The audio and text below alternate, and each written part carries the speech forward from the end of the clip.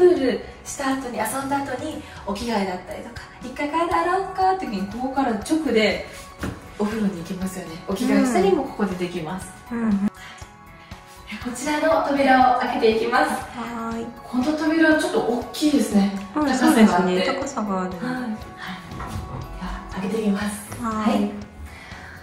あーとっても明るいですね、うんすごくこちらは明るい。はい、リビングダイニングで奥にキッチンうん。になります。はい。なんだろう白っぽいからかな？そうですね。全部が。床の色もあの今回白の木目ですし、うん。壁紙も白いのでとっても部屋全体が明るいですね、うん。であこちらがリビングの横にある窓もとても大きいのでここからも光がよく入りますし、うん。もう一点こっちですねうんこっちの窓も大きい。ちょっと開けてみましょうか。はい。先ほどあの洗面室側から、えーうんちょっとね見えてましたね。うん。はい同じ中庭なんですけど開けるとこっちがこの窓が全部開くんですよね、うん。なのでこれを開けるともうリビングからの開放感がすごいあるんですよね、そしてここからも空が。太陽がもうしっかり見える、うんはい光がよく入ります。なのでここを開けるとまたこうさらに明るくてリビング側からの目線が抜けるのでまたこう、広く見えますよね。窓を開けると仕切りがなくなるから。うん。お家のお家部屋のこう壁が向こう側までこう伸びたようなうんうん。見えますね、でこう目線の先にこう中に植物とかうん。置いたりするとこう緑って癒しの効果もありますし、うん。でも広く大きく開けることができるので例えばちょっと中庭でバーベキューしたりとかうん。もできますね。お家の中つなげて。そうですね。うん。ちょっと憧れますね。ちょっと出てみましょうはい。はこうテーブルとか、うん。おしゃれに座置いてここで朝食とか素敵じゃないであいいですね。うん。すか朝の涼しい時間帯に、ね。あのここでコーヒーとか。うん。夕方お昼お昼はちょっと暑いかもしれないですけど夕方涼しい時間帯にちょっとこう家事の合間とか、うん。読書をしたりとか、うん。憧れますね。とっても素敵ですここ。です。でここ結構広さがあるんですけど、うん。ここの奥に開けますねあ。ここにはい蛇口が蛇口が。ついてますのでこれを使って、まあ、先ほどちょっとこう洗面室のとこでお話しした、あの子供用のプールとか、ねはあとは植物の水やりとかいうん。ホースつなげてるね。もうここでできるのでとっても使いやすいですよね。もしこう雨が降って汚れても掃除もできますし、ね、うん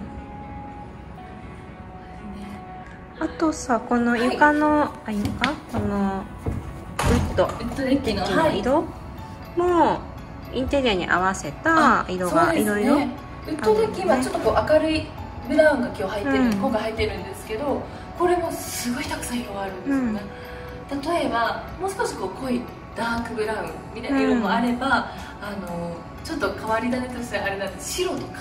白。白もあります、うんカントリー風とかあとはマリン風にもなりそう。マリン風あそうでブルすねーと白の組み合わ確かにマリせとかねンとかカリフォルニアテイストとか、ああいうのにも白は合いますね、うん。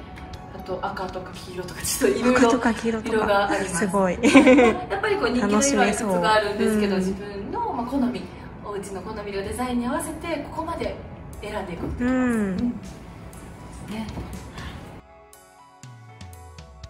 リビングダイニングにつながっててとっても広いのと、あと換気がすごいよくできますうね、ん、これで向こう側の窓も開けたら風が一気に通りますからうん。ね、そうだね。こっちとこっちと、こっちからうーっと風が、うん。ここに網戸があで左右からこう網戸出して風だけ通したいっていうのもできうんます、うん一枚ですね。今回木目のこうデザインがぐるーっと。うん。入っておしゃれですね。あちょっと待って木目なのね。あこれ木目にですね。なっていて、うん。なのであの部屋の扉とかも今回ベージュになっているのでこうデザインと色が合わさってうん。とてもおしゃれです。でここカウンターになってますよ。うん本当本当。こうやって座ると高さもぴったりです。うん。ちょっと高めの椅子ではあるけどあそうですね。こういうのね置いていただくとね、えーちょうどいい高さ。うん。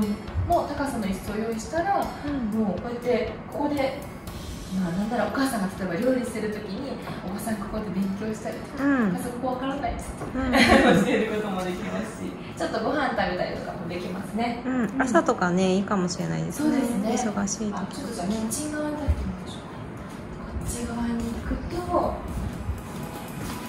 あここ見てください。ここかここに立つとキッチンからダイニングリビングって全部一続きにうん。見えます。よく見えるあと中庭もですね、うん。中庭側も全部が見渡すことできるので例えばそうです小さいお子さんがいるお家とかうん。は、お子さんがどこで遊んでてもここで家事をしながら見守ることができますね。確かに。うん。しかもここ作業スペースとっても広いので例えばちょっとこのカウンター側に座ってみてくださいはいはい座ってみますね。内側に来ると例えば、うん。朝だったらここで「はいご飯できたよ」うん。でここでご飯を食べ終わったらそのままここでシンクに持ってきて洗い物ができて。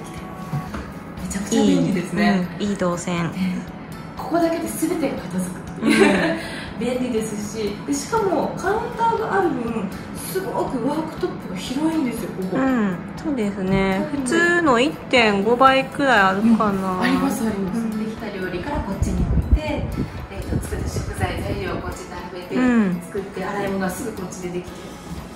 めちゃくちゃ便利ですね、うん。こう便利です迎え合ってねたらお子さんと一緒にこうお手伝いもできますしね、うんうん。一緒に料理のお手伝いとか一緒にお菓子作りしたりとか。うんもできます、はい、あそういえばちなみにこのカウンターの下ですね、うん。この下の部分を使ってここに本棚を置く方もいます、あそうなんだ、ここのまあここくぼみとして使って、うん。この下に本棚を置くことで部屋の広さは変わらないですよね、うんうん。ただここにもう収納が一つ増えるっていう使い方もできます、はい、あとこちらは、うん。はい、プボードこれオプションですね。はいはい。はいオプションのカップボードがついてます。もうこれちょっと1個開けてみるとうん。これだけ収納力があるんですよ。うん。これ便利だけどどれくらいのお客さんがつけられるのかな？えっ、とですねこのカップボードは半数以上の方はつけられます、うん。なぜかっていうとこっちのキッチン側のデザインと合わせて入れることができるんですね、うんなのでキッチンカップボードがこうセットになると統一感が出てキッチンがすごいこうおしゃれなこう場所というか空間にすることができます、まとまりがねあ出ていいですね。ね。まとまりが出て、うん。でもね自由に組み合わせができるんですよ、なので今空いてる向こう今植物置いてるところまで全部こういうカップボードにしたい。あ。っていうことも増やすこともできねこますし、こまでね、はい、今使ってるものを1個持ってきて、うん。ここは、えー、とここまでつながった食器棚うん。をつけたりとか、ああなるほど。組み合わせて使えるんですそうねですそうです。家族の人数とか、うん。食器だったりお鍋の数とかうん。に合わせてここの組み合わせは自由に選べます、うん。こちらですねキッチンの奥にこう勝手口がついているので、あのゴミ出しとかですねうん。ここでまとめてこのまま直接外にもうゴミを運び出すことができます。こうんうん。これは標準でここの位置にいつもありますね。れはいつも標準ですね、で1個嬉しい機能が閉まる。こう開けるにしてこうやってスライド式の窓になってるので、うん。開けたら換気もできるんですよね、うん。これ網戸がついてる網戸になってます、うん。キッチンってこう料理してたらここで熱がこもってくるんですよね、うん。でしかもちょっと煙が出るものだったら余計気になっちゃうんですけど換気扇プラスこっちも開けたらしっかり風も流れて、あの夏場でも料理このキッチンはあのすごい料理しやすい場所になると思います、うん。あとね匂いもねこっちに広がらないからいいですね。ですね。ちょっと焼き物だったりとか匂いが気になるものうん。もここ開けて調整もできますね、うん。はい。キッチンと横ですね。横の扉を開けるとこの先に、はい、広々とした和室が実は隠れてるんです、はい、なので今先ほどねちょっとお話ししたんですけどキッチンに立ってこう周りが全部見渡せるってお話ししたんですけど、うん。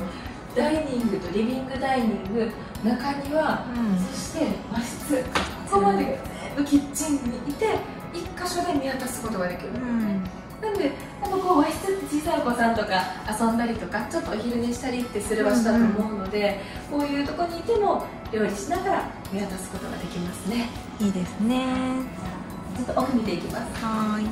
広さはどのぐらいかな？6畳ですね。6畳？って結構広いですね、そうそう。ここのねタイプのうちはこれがね標準でつきますからね。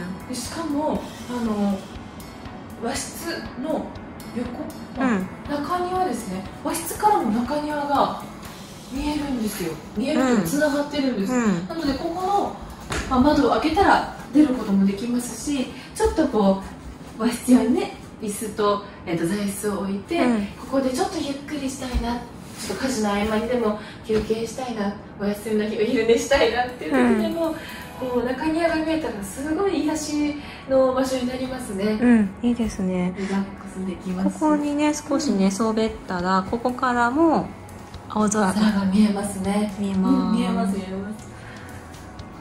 とってもこうくつろぎの空間としてすごく素敵ですね、はいで、えーと、和室の奥に収納が、はい、ついておりまして、この収納かなり大きいんですよ、うん、ちょっと今回まだあのモデルハウスできたばかりで物がたくさん入ってるんですけど、これだけはい収納ができます、うん、たくさんね収納してますね、ね、今ね、はい、下から上まで、上まで。今反対側の方にもあの同じく同じ大きさ、奥行きの収納があるのでとってもたくさん入ります、うん。うん、今度は2階に上がっていきましょう。はい。いつ通ってもこれはリビング中庭の横は明るいですね。うん明るいですね。これは光がとても入ってくるので、うん、昼間は電気いらないと思います。うん玄関から帰ってきてリビングを一度通ってから2階の個室に上がっていきます。はい。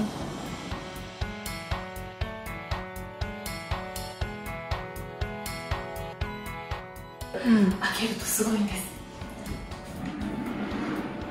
ここにウォークインクローゼットが。あります、うん、どうでしょうか？めちゃくちゃ広いと思いません？これ。うん扉の色から違うとちょっとこう雰囲気違いますよね、うん、違いますね、はい、見ていきますと、まあ、例えば置いているインテリアであったりとかでもかなり雰囲気が変わってくると思います。うん、ちょっとね大人っぽい雰囲気ですねこっちの方が。そうですね。落ち着いた大人っぽい雰囲気で、うん、ここも先ほどとまた違うデザインが入っています、うん